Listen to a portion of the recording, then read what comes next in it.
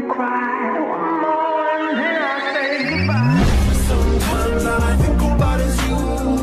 Late nights and